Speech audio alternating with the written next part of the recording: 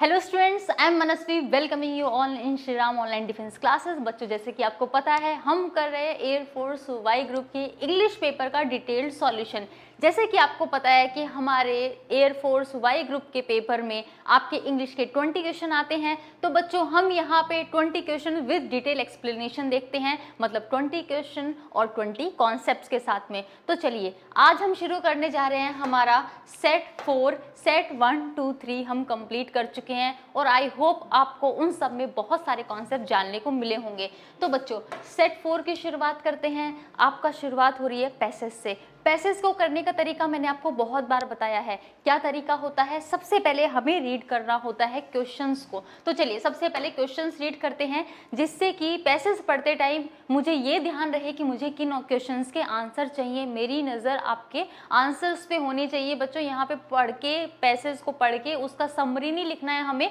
हमें केवल given question के आंसर देने हैं। तो यहाँ पे फ़र्स्ट क्वेश्चन क्या है? The growth of newspaper depends on newspaper की जो ग्रोथ है वो किस पर निर्भर करती है, ये पूछा गया है। बच्चों, एक और फ़ायदा आपको क्वेश्चन पढ़ने से होगा। वो क्या आपको आइडिया हो जाएगा कि पैसेज आपका किसके बारे में है? तो पैसेज पढ़ने से पहले ही आपको ये पता हो कि ये किसके बारे में है तो पढ़ना और आसान हो जाता है, उसको समझना और ईजी हो जाता है। तो फ़र्स्ट क्वेश्चन ध्यान रहा क्या पूछा है the growth of newspaper depends on newspaper की जो ग्रोथ है, वो किस पर निर्भर करती है? नेक्स्ट देखिए नेक्स्ट क्वेश्चन क्या है? The main idea of the second paragraph of the passage passage का जो सेकेंड पैराग्राफ है, उसका मेन आइडिया क्या है? उसका थीम क्या है? तो जब सेकेंड पैराग्राफ पढ़ेंगे, तब ध्यान रखेंगे कि इसमें मोटी मोटी क्या बातें हो रही हैं, किसके बारे में बातें हो रही हैं, वही उसका आइडिया और उसकी थीम हो जाएगा। नेक्स्ट क्वेश्चन देखते हैं, पूछा गया है द वर्ड गोल गोल मतलब एम ठीक है? आपका लक्ष्य. इन द पैसेज मीन्स इस पैसेज में गोल शब्द से क्या मतलब है, ये पूछा गया है। तो पैसेज पढ़ के हम समझ लेंगे। नेक्स्ट है the word vital as use in the contest तो वर्ड आपका क्या लिया है? वाइटल लिया है बच्चों। आपका कौन सा वर्ड पूछा गया है? आपसे वाइटल का पूछा गया है।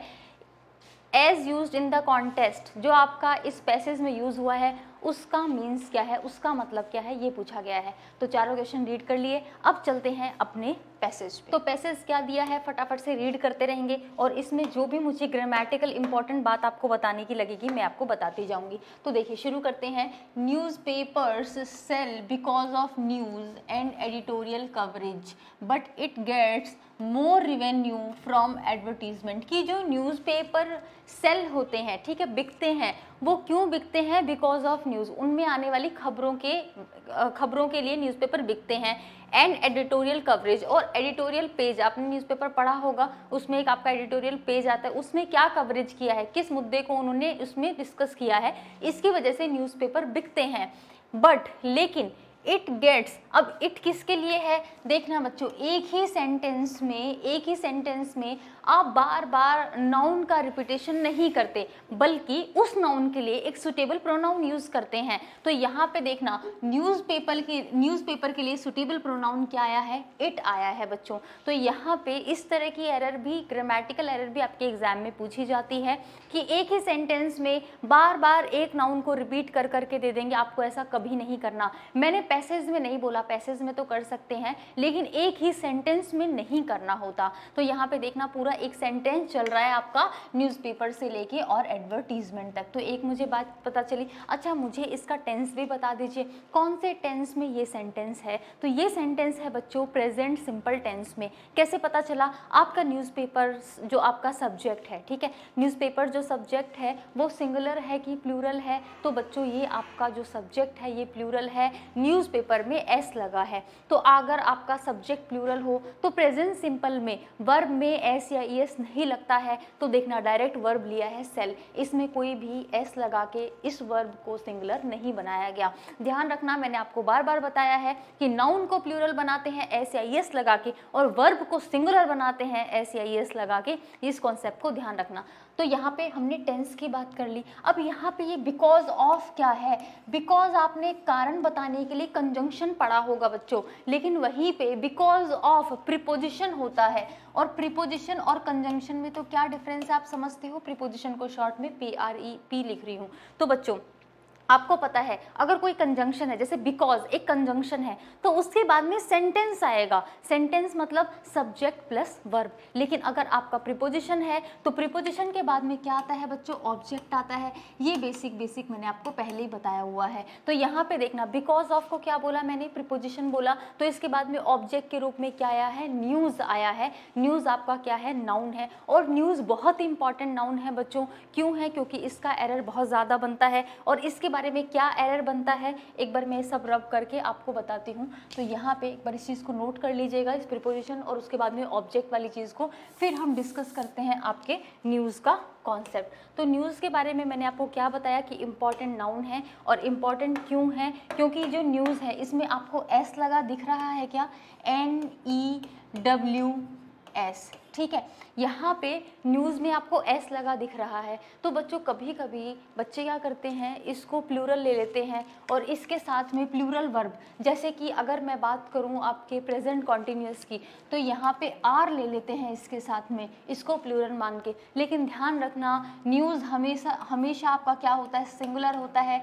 इसके साथ सिंगुलर वर्ब अगर प्रेजेंट कॉन्टीन्यूस की बात करूँ तो इज़ अगर प्रेजेंट परफेक्ट की बात करूँ तो हैज़ अगर प्रेजेंट सिंपल की बात करूँ तो डज तो आप इस चीज़ को ध्यान से समझिएगा कि न्यूज़ किस तरह का सब्जेक्ट है बच्चों। सिंगुलर आपका नाउन है, इसको कभी प्लूरल नहीं लेना। अब यहाँ पे देखना, वैसे तो आपको पता ही होगा, ये जो न्यूज़ वर्ड है, ये बना किससे है? देखो न्यूज़ का मतलब जो चारों दिशाओं, हर तरह की न्यूज़ को, हर तरह की खबरों को कवर करे। तो एन मतलब नॉर्थ होता है ई मतलब ईस्ट होता है डब्ल्यू मतलब वेस्ट होता है और एस मतलब साउथ होता है। इन सारे डायरेक्शन को मिला के न्यूज़ बना है। और ये किस तरह का सब्जेक्ट है? सिंगुलर नाउन है। इसके साथ कभी भी प्लूरल वर्ब आप नहीं लेंगे। आई होप ये चीज़ आपको क्लियर होगी। तो चलिए, आगे आगे पढ़ते हैं। आपका पैराग्राफ में क्या लिखा हुआ है न्यूज़ कोस्ट अब देखना न्यूज़ अभी अभी मैंने आपको सिंगुलर नाउन बताया तो देखना वर्ब के साथ में एस लगा के लिखा है। अभी बताया प्रेजेंट सिंपल में अगर सिंगुलर सब्जेक्ट है तो वर्ब के साथ में एस या एस लगता है। तो कोस्ट आपकी वर्ब है, उसके साथ में एस लगा दिया, क्योंकि न्यूज़ सिंगुलर सब्जेक्ट है। तो यहाँ पे न्यूज़ कोस्ट मनी अब न्यूज़ की तो क्या लगती है? न्यूज़ का तो पैसा लगता है। वाइल जबकि, ये वाइल क्या है? कॉन्ट्रास्ट कंजंक्शन है बच्चों। इसका मतलब होता है जबकि। कॉन्ट्रास्ट मतलब अब कुछ अलग ही बात बताएगा। इससे विरोधात्मक बात बताएगा। वाइल एडवर्टीजमेंट्स फैच मनी भाई न्यूज़ को छापने के तो खुद पैसे लगते हैं, लेकिन एडवर्टीजमेंट क्या करता है? मनी को फैच करता है। मतलब मनी को अपने पास खींच के लेके आता है। The economics of modern newspaper जो मॉडर्न न्यूज़पेपर की इकोनॉमिक्स है मतलब उसका जो पैसे का जोड़ तोड़ है the economics of modern newspaper is such that वो क्या है कि is such that it can not run by just selling news कि केवल जो न्यूज़पेपर है, वो केवल न्यूज़ बेच के नहीं चल सकता. It has to depend on advertisement उसको किस पर निर्भर करना पड़ता है? हैज़ टू हैज़ टू बताया था मॉडल ऑफ़ कंपल्शन है। हैज़ टू मॉडल है, और इसके बाद में वर्ब की फ़र्स्ट फॉर्म देखना बच्चों डिपेंड आया है। और इट कैसा है? इट सिंगुलर सब्जेक्ट है, इसलिए हैज़ टू लिया है। अगर प्लूरल होता तो हैव टू आ जाता। तो it has to depend on it किसके लिए है? न्यूज़पेपर के लिए है। It has to depend on advertisements उसको एडवर्टीजमेंट्स पे निर्भर रहना पड़ता है। The economics of newspaper publishing requires both subscriber who can afford to buy newspaper अब जो इकोनॉमिक्स है न्यूज़पेपर का मतलब जो पैसे का हिसाब किताब है न्यूज़पेपर का, वो किस पर निर्भर करता है? ध्यान रखना ये क्वेश्चन भी था, ठीक है? किस पर किस पर निर्भर करता है? तो अब आपको आंसर मिलेगा। न्यूज़पेपर पब्लिशिंग रिक्वायर्स क्या ज़रूरत पड़ती है? बोथ सब्सक्राइबर बोथ मतलब दो लोगों की बात होगी। बोथ सब्सक्राइबर की सब्सक्राइबर भी चाहिए जो कि अफोर्ड कर सकें, ठीक है? अफोर्ड करना मतलब कि जो आपका कोई खर्चा उठा सके। अफोर्ड कर सकें टू बाई न्यूज़पेपर न्यूज़पेपर खरीदने को अफोर्ड कर कर सकें। Subscriber who can afford buy newspaper and businessman who can afford to advertise in it और किस पे निर्भर करता है? बिजनेसमैन पे, जो कि इसके अंदर एडवर्टीजमेंट देने को अफोर्ड कर सकें, क्योंकि न्यूज़पेपर चार्ज करता है एडवर्टीजमेंट पब्लिश करने के लिए। तो यहाँ पे आपको समझ में आया किन किन पर निर्भर कर रहा है तो देखना, एक आंसर मिल गया। बच्चों, एक और चीज़ ध्यान रखना, ये जो बोथ है बोथ के साथ हमेशा आपको एंड का कॉम्बिनेशन मिलता है। मैंने जो पुराने सेट करवाए हैं, उसमें इसका एरर भी करवाया था। बोथ के साथ बच्चों एज वेल एज करके एरर दिया जाता है। एरर करके क्या दिया जाता है? बोथ के साथ में एज वेल एज का यूज़ जबकि आपको पता है बोथ के साथ में कभी भी एज वेल एज का यूज़ नहीं होता। तो एज वेल एज लिख के कट कर देना। बोथ के साथ क्या लगेगा? आपका एंड लगेगा। तो चलिए, वापस पैसेज पे आते हैं। क्या लिखा हुआ है? The growth of the press जो आपका प्रेस है मतलब प्रेस क्या होता है? जो न्यूज़पेपर पब्लिश करती है। डिपेंड्स ऑन वो निर्भर करती है क्या on both therefore in in अच्छा यहाँ पे मिसिंग है, ठीक है? यहाँ पे क्या चीज़ मिसिंग है मैं बता देती हूँ। The growth of the newspaper depends on both किस पर निर्भर करती है प्रेस की जो ग्रोथ है, वो आपकी सब्सक्राइबर पे निर्भर करेगी भाई सब्सक्राइबर जो कि आपका न्यूज़पेपर खरीदे। और आपके जो एडवर्टीज़मेंट देने वाले लोग होते हैं, उन पर भी निर्भर करती है, जो कि आपके न्यूज़पेपर में एडवर्टीज़मेंट को देने को अफोर्ड कर पाएँ। तो देखना एक आंसर मिल चुका है। नेक्स्ट देखते हैं therefore in newspaper management neither aspect can be neglected इसलिए न्यूज़पेपर में इन दोनों में से किसी भी मुद्दे को नकारा नहीं जा सकता, इसको नेग्लेक्ट नहीं किया जा सकता। नेक्स्ट देखना बच्चों, क्या लिखा हुआ है? सेकेंड पैसेज शुरू हो गया है। और याद रखना, एक क्वेश्चन क्या था कि सेकेंड पैसेज में किस चीज़ की बात हो रही है, उसका मेन आइडिया क्या है? तो देखते हैं सेकेंड पैसेज में मेन किस मुद्दों के बारे में चर्चा कर रहे हैं। तो coordination among the various departments जो कोऑर्डिनेशन है मतलब आपसी सामंजस्य है, बहुत सारे डिपार्टमेंट्स होते हैं एक कंपनी में।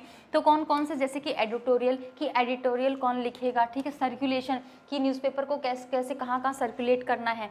एडवर्टाइजमेंट उसमें एडवर्टीजमेंट कौन सी देनी है एंड प्रोडक्शन और जो उसका प्रोडक्शन डिपार्टमेंट है is very essential for effective and better management ये बहुत ही ज़्यादा ज़रूरी है। इसेंशियल मतलब बहुत ही ज़्यादा ज़रूरी वेरी इंपॉर्टेंट वाइटल ठीक है?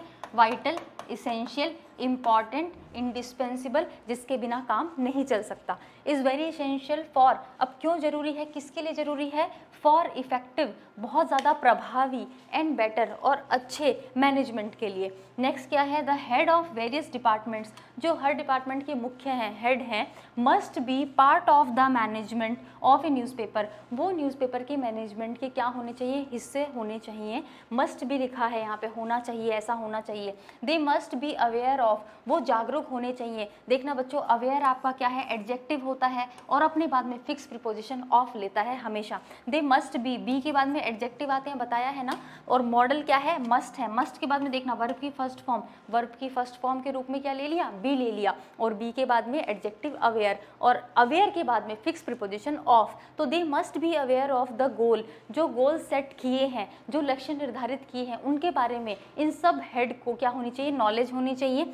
Policies and future plan of the management और जो भी आपने पॉलिसीज़ बनाई हैं, नियम बनाए हैं, और जो भविष्य में होने वाले जो प्लान है, वो बताए हैं मैनेजमेंट के लिए, उनको, उनके बारे में क्या होना चाहिए? जागरूक होना चाहिए।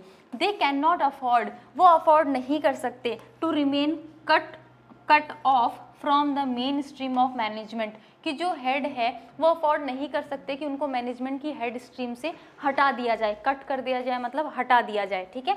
मैनेजमेंट फ़ंक्शन इन एडिशन और इसके साथ साथ ईच डिपार्टमेंट हर एक department should keep the other department manager informed of those of its activities और इसके साथ साथ जो एक डिपार्टमेंट के जो हेड हैं, वो दूसरे डिपार्टमेंट के हेड को अपनी एक्टिविटी के बारे में नियंत्रित रूप से जानकारी देते रहें, ऐसा बोलना चाह रहा है। दैट विल बी यूज़फुल और वो जानकारी देना, वो क्या रहेगा? विल बी यूज़फुल वो हमारे लिए उपयोगी रहेगा। टू देम उनके लिए उपयोगी रहेगा। This is a vital aspect एक बहुत ही महत्वपूर्ण मुद्दा है एस्पेक्ट है। ऑफ़ न्यूज़पेपर मैनेजमेंट ये न्यूज़पेपर मैनेजमेंट का एक ही बहुत ही महत्वपूर्ण मुद्दा है। तो देख लेना, पूरा जो सेकंड पैराग्राफ है, उसमें न्यूज़पेपर मैनेजमेंट अच्छे से कैसे हो, इसके बारे में बात की गई है। तो अब हम वहाँ पे, जब ऑप्शन में हमें इससे मिलता जुलता कोई आंसर मिल जाएगा, वही मेरा आंसर हो जाएगा बच्चों। तो हमने पूरा पैसेज रीड कर लिया। सारे क्वेश्चन के आंसर आपको यहाँ पर मिल गए होंगे। अब फटाफट चलते हैं आपके आंसर सेक्शन आपके जो क्वेश्चन आंसर है, उस सेक्शन पर चलते हैं। देखना। The growth of newspaper depends on तो किस पे निर्भर करती है? फ़र्स्ट ऑप्शन पढ़ते हैं। The growth and news coverage ऐसा तो पैसेज में कहीं नहीं था तो ए ऑप्शन मेरा आंसर नहीं होगा। नेक्स्ट देखना क्या लिखा है। Large scale of subscriber subscriber पे तो निर्भर करता है। सब्सक्राइबर मतलब किसी, आप जैसे सब्सक्राइब करते हो ना, किसी चैनल को जाके सब्सक्राइब करते हो तो सब्सक्राइबर मतलब न्यूज़ को न्यूज़पेपर को खरीदने वाले तो उन पर तो निर्भर करता है। उसके साथ साथ एडवर्टीजमेंट देने वालों पर भी तो निर्भर कर रहा था ना तो केवल इस पर नहीं करता। तो चलो सी ऑप्शन पढ़ते हैं। एडवर्टाइजर, बिल्कुल एडवर्टाइजर पर करता है, लेकिन क्या केवल एडवर्टाइजर पर करता है? नहीं, सब्सक्राइबर पे भी करता है और एडवर्टाइजर पे भी करता है। तो ये भी सी आंसर नहीं होगा। डी ऑप्शन पे आइए, यही मेरा आंसर है। क्या लिखा हुआ है? Subscriber and advertiser. सब्सक्राइबर पे भी और एडवर्टाइजर पे भी। तो मेरा डी आंसर हो जाएगा। तो बच्चों, ये आपको क्वेश्चन क्लियर होगा। बहुत आसान सा क्वेश्चन है। आपको पैसेज भी पढ़ने में समझ में आ गया। पैसेज भी आपका डिफ़िकल्ट नहीं था। कोई भी डिफ़िकल्ट वोकैब नहीं थी आपके पैसेज में। तो पैसेज को देख के डरना नहीं है। सेकेंड देखना the main idea of second paragraph तो मेन आइडिया क्या है? फटाफट ऑप्शन पढ़ लेते हैं। ए ऑप्शन है द फ्यूचर ऑफ़ न्यूज़पेपर है। बी है how to sell newspaper how to sell newspaper तो नहीं है। जो ऑप्शन बिल्कुल भी ना लगे, उनको रिजेक्ट करते जाओ, ठीक है? नेक्स्ट है इफ़ेक्टिव न्यूज़पेपर और डी है the role of the heads of department तो किसकी, किसका ज़िक्र किया है इसने कि आपके जो हेड्स हैं डिपार्टमेंट के, उनका रोल क्या है? पूरे पैराग्राफ में वही डिस्कशन चल रहा था बच्चों कि क्या रोल है कि भाई सबको एक दूसरे के बारे में इंफॉर्मेशन एक दूसरे से शेयर करनी चाहिए, इन सबको मैनेजमेंट का पार्ट होना चाहिए। तो बेसिकली यहाँ पे अच्छा न्यूज़पेपर कैसे बिके, इसके बारे में बात हो रही थी। तो यहाँ पे देख लेना, किसके बारे में बात हो रही थी? Role of the head of the departments के बारे में बात हो रही थी। डी मेरा आंसर हो जाएगा। नेक्स्ट देखना तो जो वर्ड गोल आया था, ठीक है, इसका मीनिंग क्या था? तो गोल मतलब क्या होता है बच्चों? गोल होता है लक्ष्य। तो इसका जो मीनिंग है पैसेज में, वो क्या हो जाएगा? तो देख लेते हैं ऑप्शन को ए एम ए में ही आंसर मिल गया मुझे। एम भी तो लक्ष्य होता है। कॉन्क्लूजन क्या होता है बच्चों? निष्कर्ष होता है। निष्कर्ष होता है। और मैंने बताया था कॉन्क्लूजन के साथ कभी भी आप फाइनल नहीं लगाएँगे, क्योंकि कॉन्क्लूजन खुद में ही फाइनल होता है, अंत में दिया जाता है। किसी भी चीज़ को मान लो डिटेल में पढ़ने के बाद, समझने के बाद में निष्कर्ष उस पर पहुँचते हैं। तो यहाँ पर ध्यान रखिएगा सुपरफ्लिस एक्सप्रेशन मैं आपको करवा चुकी हूँ। आपने भी उसे डिटेल में पढ़ा होगा। तो यहाँ पे सुपरफ्लिस एक्सप्रेशन कोई भी वर्ड उससे मिलता जुलता आए ना तो उस पूरे टॉपिक को एक बार रिवाइज कर लिया करो दिमाग में। नेक्स्ट देखना रिज़ल्ट आपको सबको पता है। नेक्स्ट देखना बेनिफिट बेनिफिट क्या होता है? लाभ। ठीक है? तो यहाँ पे ये सारे मीनिंग नोट डाउन कर लीजिए। नेक्स्ट देखिए बच्चों फोर्थ क्वेश्चन क्या है मेरा? फोर्थ क्वेश्चन है द वर्ड वाइटल यहाँ पे किस वर्ड की बात हो रही है? वाइटल की. तो वाइटल मैंने पैराग्राफ में भी आपको बताया था, क्या था? बहुत ही महत्वपूर्ण इंपॉर्टेंट इंडिस्पेंसिबल इसेंशियल तो इसका मीनिंग आपसे पूछा है ऑप्शन स्टडी कर लेते हैं फटाफट से. तो ऑप्शन में क्या क्या लिखा है? प्राइमरी प्राइमरी होता है मुख्य. तो ये तो आंसर नहीं है। इंपॉर्टेंट मिल गया मुझे, महत्वपूर्ण, यही वाइटल का मीनिंग होता है बच्चों तो बी मेरा आंसर हो जाएगा। सी देखते हैं हेल्दी आप सब समझते हैं, स्वस्थ से रिलेटेड है, और लिवली क्या होता है? लिवली होता है जानदार। जानदार, या फिर बहुत ही ज़्यादा रुचिकर रुचिकर कोई चीज़ हो। उसको क्या कहते हैं? लिवली लिवली लाइफ बहुत ही अच्छी, बहुत ही रुचिकर लाइफ कोई जी रहा है। तो हम बोलते हैं ही और she is living a lively life तो यहाँ पे लिवली का मतलब क्या होता है? रुचिकर होता है। नेक्स्ट देखना बच्चों फिफ्थ क्वेश्चन की बात करते हैं। तो सबसे पहले इंस्ट्रक्शन पढ़ना, क्या बोला है? Fill in the blank with correct verb हमें यहाँ पे करेक्ट वर्ब देखनी है। पहले सेंटेंस को पढ़िए, उसके मीनिंग को समझिए और फिर देखिए कि कौन सी वर्ब यहाँ पे फिट होती है। तो चलिए, पहले सेंटेंस पढ़ते हैं, क्या दिया है?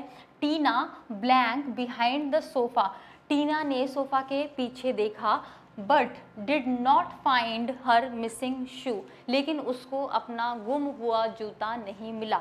तो यहाँ पे क्या है?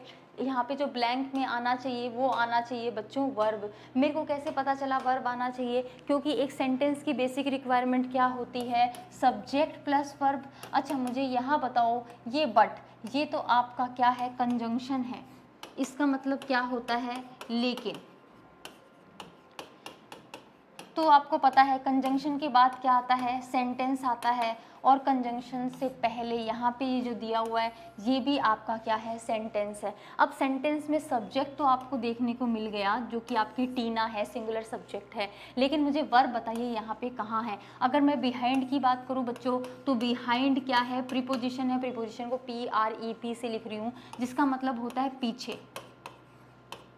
ठीक है? तो बिहाइंड तो प्रिपोजिशन है और ये द सोफा ये प्रिपोजिशन का क्या है बच्चों? ऑब्जेक्ट है, मैंने बताया। ऑब्जेक्ट पूरी ग्रामर में दो ही चीज़ों के बाद में, या तो प्रिपोजिशन के बाद में या ट्रांजिटिव वर्ब के बाद में। तो यहाँ पे बिहाइंड प्रिपोजिशन है, उसका ऑब्जेक्ट द सोफा बन गया। तो वर्ब मिसिंग है। वर्ब लेना है आपको। अब मुझे सुटेबल वर्ब चाहिए। क्या करने के सेंस में? खोजने के सेंस में चाहिए। तो यहाँ पे ध्यान रखिए ना, खोजने के सेंस में जो आपकी वर्ब आती है बच्चों, वो लुक आती है लुक आती है। और यहाँ पे करेक्ट फॉर्म ऑफ़ वर्ब मतलब टेंस भी आपको ध्यान रखना है। अब यहाँ पे देखना, आपको टेंस कौन सा लेना होगा यहाँ पे? ये आपका अभी इस सेंटेंस में डिपेंड कर रहा है कि बट के बाद में देखना। बट के बाद में कौन सा यहाँ पे टेंस लिया हुआ है? Did plus not plus verb की first form did plus not और फाइंड वर्ब की फ़र्स्ट फॉर्म किस टेंस में आता है बच्चों? पास सिंपल में आता है। तो एक होता है पैरलिज्म ऑफ़ सेंटेंस ये आपका एक रूल होता है बच्चों।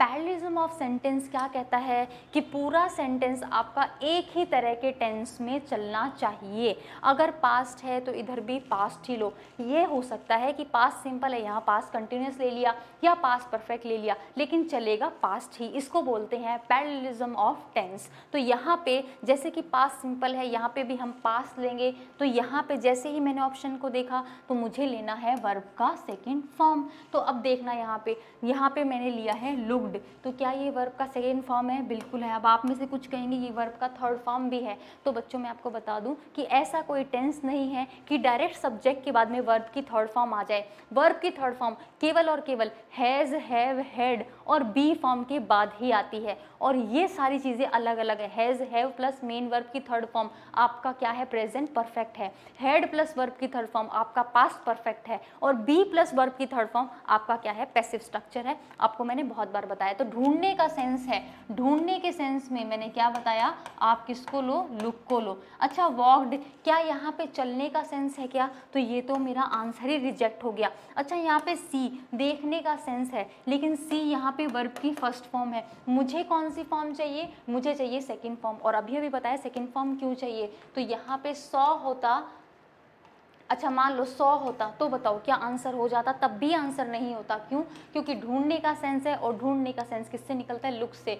सौ से नॉर्मली देखना, ठीक है? नॉर्मली, जैसे कि आप मूवी देख रहे हो, जैसे कि आप अपने फ्रेंड को देख रहे हो, जैसे कि अपनी बुक को देख रहे हो तो नॉर्मली किसी चीज़ को देखने के लिए आप क्या यूज़ करते हैं? सी वर्ब का यूज़ करते हैं। लेकिन ढूँढने के लिए, यहाँ पे देखना, नॉर्मल देखना नहीं है। किसी चीज़ को तलाशना, ढूंढना है और तलाशने के लिए आपकी लुक वर्ब चलती है, ठीक है?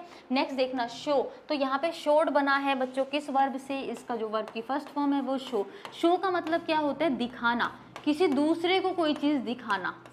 जैसे कि, Ram showed me his new pen ठीक है, राम ने अपना नया पेन मुझे दिखाया. तो यहाँ पे देखना, किसी तीसरे ही पर्सन को कोई चीज़ दिखाना, उसके लिए क्या वर्ब यूज़ होती है आपकी? शो लेकिन यहाँ पे दिखाने का सेंस है क्या? यहाँ पे ढूँढने का सेंस है, इसलिए आंसर क्या हो जाएगा? लुक आंसर हो जाएगा. ढूंढना या तलाशना लिख लेना. तो फटाफट से इन कॉन्सेप्ट को नोट डाउन कर लिए। नेक्स्ट देखते हैं बच्चों, आपका जो सिक्स क्वेश्चन है, वो क्या है? तो सिक्स क्वेश्चन आपका एरर से रिलेटेड है, मैंने बोला हमेशा इंस्ट्रक्शन पढ़ने हैं। तो सिक्स क्वेश्चन एरर से रिलेटेड है, एक सेंटेंस को तीन पार्ट में ब्रेक किया है ए बी सी किसी पार्ट में एरर है तो आप ए बी सी में से ऑप्शन चूज़ कर लो। अदरवाइज़ आप ऑप्शन चूज़ कर लो डी जो कि है नो एरर तो चलिए, सबसे पहले आपके क्वेश्चन को पढ़ते हैं। क्या दिया है? नीदर ऑफ़ द टीम्स मतलब कोई टीम में से कोई भी नहीं नीदर ऑफ़ द टीम्स और नीदर हमेशा ध्यान रखना बच्चों, दो के लिए आता है।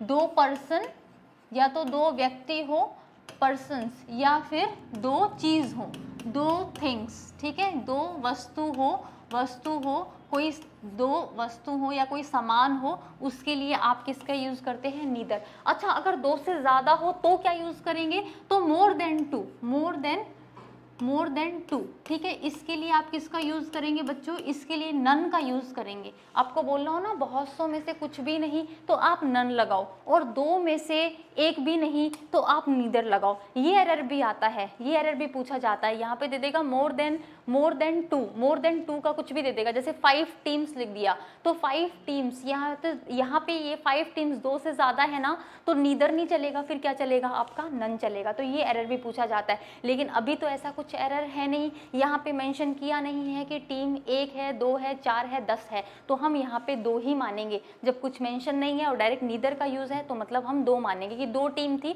उसमें से कोई भी नहीं। Neither of the teams are sensible enough कि कोई, दोनों टीमों में से कोई भी क्या है सेंसिबल नहीं है। सिंस वी वर चिल्ड्रेन क्योंकि हम क्या थे? बच्चे थे। भाई, बच्चे आपस में आपको पता है, टीम बना के खेलते हैं तो वो लोग चीटिंग भी कर लेते हैं। उनमें इतना सेंस नहीं होता कि नहीं, ये सब रूल रेगुलेशन फॉलो करने हैं। तो बस यही बोला गया है। अब यहाँ पे एरर क्या बच्चों? बहुत अच्छी एरर है। एरर है आपकी सब्जेक्ट वर्ब एग्रीमेंट की। बहुत रिपीटेडली पूछे जाने वाली एरर है। क्या है? यहाँ पे नीदर के साथ बच्चों, आप कभी भी प्लूरल वर्ब का यूज़ नहीं करेंगे। आप किसका यूज़ करेंगे? सिंगुलर वर्ब इज़ का यूज़ करेंगे। ये बच्चों बी की फॉर्म है और यहाँ पे ये जो इज़ है, ये आपका हेल्पिंग वर्ब के रूप में नहीं है। मेन वर्ब के रूप में है, मुझे कैसे पता चला? अगर ये इज़ हेल्पिंग वर्ब के रूप में होता तो इसके बाद में मेन वर्ब आईएनजी होता। लेकिन यहाँ पे देखना सेंसिबल यूज़ किया है, ये आपका क्या है? एडजेक्टिव है एडजेक्टिव है। तो यहाँ पे बी फॉर्म के बाद में एडजेक्टिव आते हैं, मैंने आपको बता रखा है पहले ही। तो यहाँ पे देखना, आपने क्या क्या चीज़ें समझी?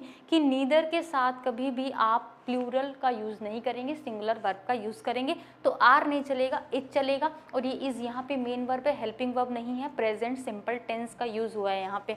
एक और चीज़ समझिए, बच्चे क्या करते हैं? स्टीम्स को देखते हैं। इस टीम्स को देखते हैं। ये सिंगुलर है कि प्लूरल है? ये प्लूरल को देख के आप क्या लगा देते हैं? यहाँ पे आर लगा देते हैं ये पढ़ने में, क्योंकि हमें पता है एग्ज़ाम टाइम में थोड़ा प्रेशर भी होता है तो फास्ट से हम रीड कर रहे होते हैं और हम यहाँ पे टीम्स को देख के इस आर को सही मान लेते हैं। बट बच्चों, मुझे एक चीज़ बताओ कि जो आपका सेंटेंस होता है, उसमें जो वर्ब लगती है, वो सब्जेक्ट के अकॉर्डिंग लगती है कि ऑब्जेक्ट के अकॉर्डिंग लगती है? तो ध्यान रखना वर्ब हमेशा आपके सब्जेक्ट के अकॉर्डिंग तो यहाँ पे सब्जेक्ट कौन है? नीदर है कि टीम्स है. तो बच्चों सब्जेक्ट आपका क्या है? सब्जेक्ट आपका नीदर है. तो अब क्वेश्चन आया कि सब्जेक्ट नीदर है तो टीम्स क्या है? तो टीम्स बच्चों ऑब्जेक्ट है. इसको ऑब्जेक्ट मैंने क्यों बोला? क्योंकि ये प्रीपोजिशन ऑफ़ के बाद आया है और बहुत बार बता दिया कि प्रीपोजिशन के बाद आपका क्या आता है? ऑब्जेक्ट आता ही आता है, उसको आप स्किप नहीं कर सकते। तो टीम्स तो ऑब्जेक्ट है। अब ये चाहे ऑब्जेक्ट सिंगुलर हो प्लूरल हो, हमें कुछ लेना देना नहीं है, हमें सब्जेक्ट से लेना देना है। और नीदर मतलब दोनों में से कोई भी नहीं। तो कोई भी नहीं मतलब आपका सिंगुलर की बात हो रही है। तो यहाँ पे इज़ आपने ले लिया। ये आपको चीज़ें समझ में आई होंगी यहाँ पे। अच्छा एक और चीज़ यहाँ पे देखिएगा। यहाँ पे सिंस वी वर चिल्ड्रेन कि जैसे कि क्योंकि हम बच्चे थे। तो यहाँ पे सिंस का मतलब क्या है? सिंस बच्चों कंजंक्शन है। अच्छा आपने एक सिंस और फॉर ये आपने प्रेजेंट परफेक्ट में सुना होगा, प्रेजेंट परफेक्ट कंटिन्यूस में सुना होगा पास परफेक्ट में सुना होगा पास परफेक्ट कंटिन्यूस में सुना होगा। सिंस और फोर का यूज़। तो क्या ये वही सिंस और फोर है? नहीं, वहाँ पे वो क्या होते हैं? प्रिपोजिशन होते हैं। यहाँ पे सिंस कंजंक्शन है तो यहाँ पे इसका पार्ट ऑफ़ स्पीच अलग है तो इसका मीनिंग भी अलग है। कंजंक्शन और इसका मतलब है बिकॉज़ क्योंकि। अच्छा एक चीज़ और ध्यान रखना। मैंने पैरलिज्म ऑफ़ टेंस अभी अभी बताया है। देखो, पहले मैंने पूरा सेंटेंस पढ़ा नहीं था, इसलिए आर की जगह इज़ कर दिया था। यहाँ पे इज़ भी नहीं आएगा। तो क्या आएगा? तो यहाँ पे देखना वी वर चिल्ड्रेन ये पास्ट है कि नहीं कि हम बच्चे थे? तो यहाँ पे भी आप किसका यूज़ करो? पास्ट टेंस का यूज़ करो। तो यहाँ पे पास्ट टेंस का यूज़ करो तो ऑप्शन आता है कि चलो वॉज़ लें कि वर लें। अब यहाँ पे तो मैंने आपको क्लियरली बता दिया कि नीदर के साथ में सिंगुलर आपका वर्ब तो आप क्या लेंगे? वॉज़ लेंगे यहाँ पे। तो यहाँ पे इज़ की जगह वॉज़ कर लेना। अभी बताया क्यों? पैरलिज्म ऑफ़ टेंस की वजह से। तो देखना, एक ही क्वेश्चन में आपको कितनी सारी चीज़ें जानने को मिली कि नीदर के साथ में आप क्या सिंगुलर वर्ब लगाओगे? ये टीम्स के अकॉर्डिंग नहीं लेना, क्यों नहीं लेना? क्योंकि ऑब्जेक्ट है प्रिपोजिशन का। उसके बाद में मैंने पैरलिज्म की बात बताई बी के बाद में एडजेक्टिव का बताया। यहाँ पे हेल्पिंग वर्ब नहीं है मेन वर्ब है, ये चीज़ बताई। बताई। तो बच्चों, जैसे नीदर आता है, वैसे और भी तो कॉम्बिनेशन है जो अपने बाद में क्या लेते हैं सिंगुलर वर्ब ही लेते हैं। तो उन सारे कॉम्बिनेशन को एक बार आप लिख लीजिए। तो वो कॉम्बिनेशन कौन कौन से हैं?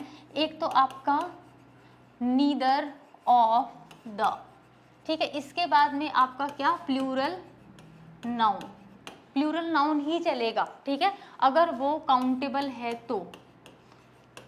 बच्चों, वैसे तो मुझे बोलने की ज़रूरत नहीं पड़ती क्योंकि अनकाउंटेबल तो हमेशा ही सिंगुलर होते हैं। प्लूरल नाउन मतलब काउंटेबल ही होगा और हमेशा प्लूरल चलेगा। ये भी एरर दिया जाता है कि ऑफ़ के बाद में ऑफ़ के बाद में यहाँ पे सिंगुलर नाउन करके दे देगा। बच्चों, जब हमें बहुत सारों में से एक चीज़ को छाटना होता है तो बहुत सारा दिखाना भी तो पड़ेगा। तो नीदर ऑफ़ द जैसे बॉयज़ तो दो बॉयज़ में से कोई भी नहीं। तो यहाँ पे ये बॉयज़ इसको प्लूरल दिखाना भी पड़ेगा ना कि ये प्लूरल में है कि भाई दो हैं तो प्लूरल है, इसलिए यहाँ पे हमेशा प्लूरल नाउन चलता है। यहाँ पे एरर बनेगा सिंगुलर नाउन बना के एरर दिया जाता है। इस चीज़ को लिख लेना कि सिंगुलर नाउन करके एरर दिया जाता है यहाँ पे।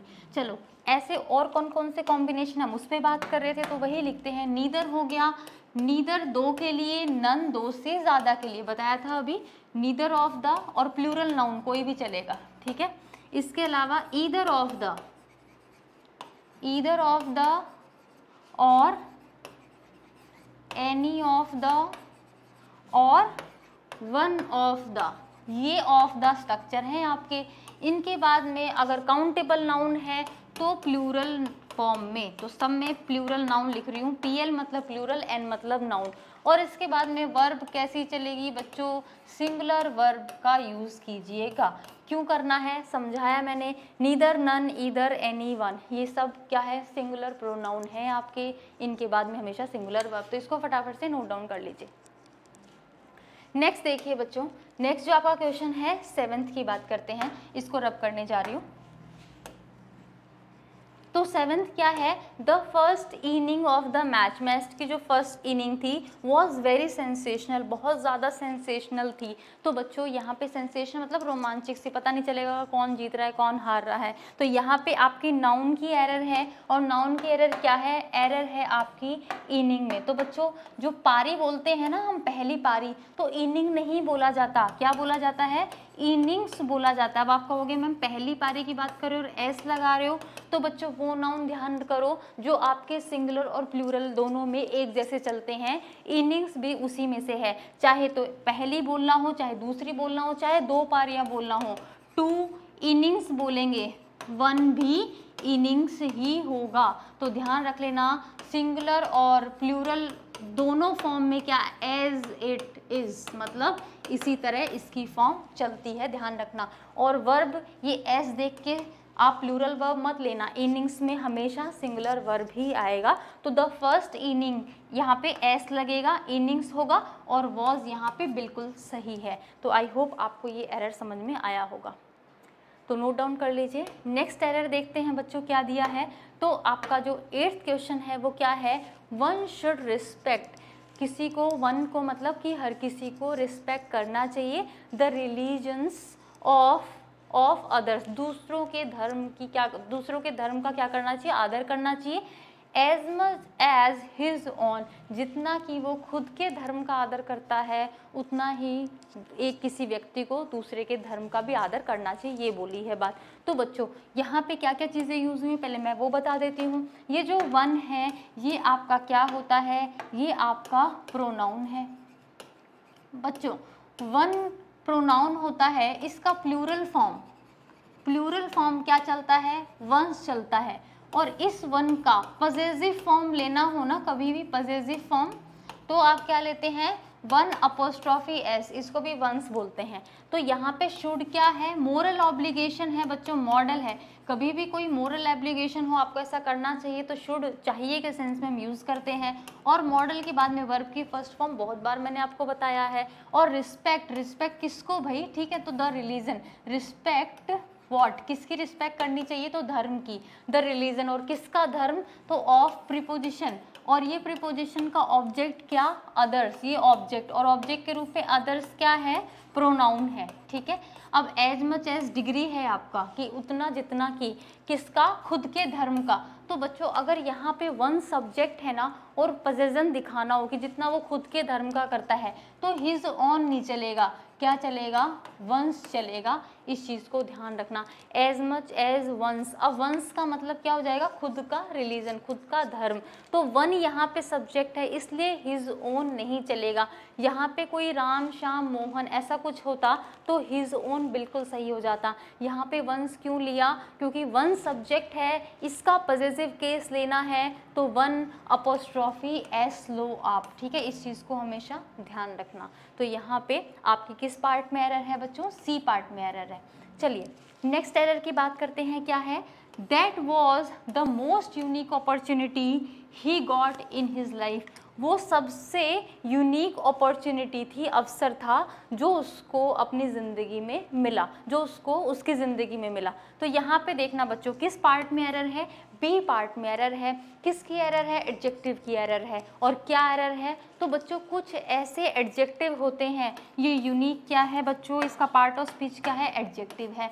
कैसे पहचाना? बोल के देखो, तुम गुड हो, तुम बैड हो, तुम यूनिक हो। तो गुड बैड एडजेक्टिव है, उससे मैच कर रहा है इसलिए यूनिक क्या है? एडजेक्टिव है। तो एडजेक्टिव से पहले आप कभी भी यूनिक जो वर्ड है ना यूनिक जो एडजेक्टिव है, उससे पहले बच्चों कभी भी ना तो मोस्ट लगेगा और ना ही मोर लगेगा। मतलब यूनिक ऐसा एडजेक्टिव है जिसका ना तो आपका सुपरलेटिव बनता है। आपको पता है ना मोस्ट लगा के सुपरलेटिव बनता है और ना ही इसका क्या बनता है? कंपैरेटिव बनता है। आपको पता है, मोर लगा के कंपैरेटिव बनता है। तो ना मोस्ट लगाओ, ना मोर लगाओ। तो यहाँ पे ये मोस्ट हटाओ। तो क्या बोलेंगे? That was the unique opportunity he got in his life most नहीं लगेगा। तो बच्चों, ऐसे कुछ एडजेक्टिव हमें याद ही रखने पड़ते हैं कि कौन कौन से ऐसे एडजेक्टिव हैं जो अपने पहले ना तो मोस्ट लेते, ना मोर लेते। मतलब जिनका ना तो आपका कंपैरेटिव बनता, ना सुपरलेटिव बनता, ये अपने आप में ही सुपरलेटिव है। यूनिक मतलब सबसे अलग, सबसे अनोखा। ये अपने आप में ही सुपरलेटिव है। इस पर मोस्ट नहीं लगाना और ना ही अब अपने आप में सुपरलेटिव है तो इसका सुपरलेटिव का कंपैरेटिव कभी बनता है क्या? तो यहाँ पे जब ऑलरेडी सुपरलेटिव है तो मोर नहीं लगाना, उसका कंपैरेटिव नहीं बन सकता। आई होप ये कॉन्सेप्ट समझ में आया होगा। तो इस तरह के अदर एडजेक्टिव जिनसे पहले मोर और मोस्ट नहीं लगता, इन इनको नोट डाउन कर लीजिए। आपके एग्ज़ाम में बहुत बार इन पे क्वेश्चन बन जाता है बच्चों। तो आपके बोर्ड पे यहाँ पे मैंने एक लिस्ट दी है। तो ये वो एडजेक्टिव हैं जिनसे पहले आपका मोर और मोस्ट नहीं लगता। मैं शॉर्ट में लिख देती हूँ। एडजेक्टिव जो आपका ना तो जिससे पहले मोस्ट लगेगा और ना जिससे पहले क्या लगेगा? मोर लगेगा। लिस्ट आपके सामने। फटाफट वीडियो को पॉज करके लिख लीजिए। तो बच्चों लिख लिया होगा आपने। कुछ और वर्ड्स हैं उनको भी देखिए। ये भी सारे वर्ड्स हैं जो आपको, आपके एग्ज़ाम में देखने को मिल सकते हैं। इनसे पहले मोर या मोस्ट लगा के आपका एरर दिया जाता है। तो आई होप सबने ये सारे वर्ड्स लिख लिए होंगे। चलिए अपने पेपर पे वापस चलते हैं। तो नाइन्थ क्वेश्चन हो गया। नेक्स्ट देखना। नेक्स्ट आपका टेंथ क्वेश्चन है। तो आपका पहले इंस्ट्रक्शन पढ़ो क्या है? Choose the correctly spelled word यहाँ पे सही स्पेलिंग किसका है? वो वर्ड चूज़ करना है। और वर्ड है मिस्चीवियस तो बच्चों, देखते हैं। ए जो आपका ऑप्शन है, क्या दिया हुआ है? M I S C H I E V O U S तो बच्चों, यही आपका क्या है? करेक्ट स्पेलिंग है। तो यहाँ पे बच्चों, कोई भी बड़ी स्पेलिंग आपको मिला करे ना, उसको हमेशा ब्रेक डाउन करके याद करने की कोशिश किया करो। जैसे मिस याद कर लिया चीव याद कर लिया और वी ओ यू एस याद कर लिया। और एक और चीज़ यहाँ पे मैं आपको बताती हूँ, मैंने हमेशा बोला है, ये आई और ई e का जो ऑर्डर है, ये अक्सर पूछा जाता है, आपके एग्ज़ाम में इस पर क्वेश्चन बनता है। तो मैंने बताया था कि जस्ट जस्ट कोई वर्ड चल रहा है, उसमें आपको सी मिल गया और उसके बाद में आपको पता करना है कि आई ई e होगा या आपका ई e आई होगा। तो मैंने आपको ये पहले भी बताया है तो बता दीजिए वन और टू जो लिखा है उसमें से कौन सा सही है? तो बच्चों कौन सा सही है? यहाँ पर सेकंड सही है। यहाँ पे मैंने आपको बताया था सी हो तो आप ई e, आई लेना। और याद करने का एक तरीका भी बताया था। मैंने बताया था अल्फ़ाबेट्स के नंबर होते हैं ना तो सी थर्ड नंबर पे आता है ई फिफ्थ नंबर पे आता है आई नाइन नंबर पे आता है।